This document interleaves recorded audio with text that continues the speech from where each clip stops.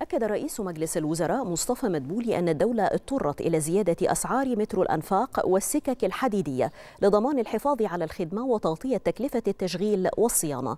وأضاف أن تكلفة التشغيل تأتي من التذاكر التي يدفعها المواطن تساهم في ضمان استمرار هذه الخدمة بنفس الجودة إلى مدى زمني بعيد. فالنهاردة لما بنضطر إن إحنا نزود أسعار سواء المترو الأنفاق أو السكة الحديد فقط عشان أضمن إن أنا أحافظ على المرفق وأغطي تكلفة التشغيل والصيانة.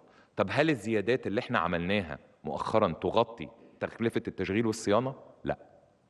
لأن إحنا بقالنا تقريبا ثلاث سنوات لم نقم بزيادات. لأن ده كان قرار آخر النهارده خدناه عشان برضه نخفف من الأعباء على المواطن المصري. فبالتالي وأعتقد كل الاقتصاديين عارفين هذا الموضوع عشان تضمن كفاءة واستمرار أداء خدمة معينة لازم على الأقل تغطي تكلفة التشغيل والصيانة. أنا بتكلم هنا على تكلفة التشغيل والصيانة.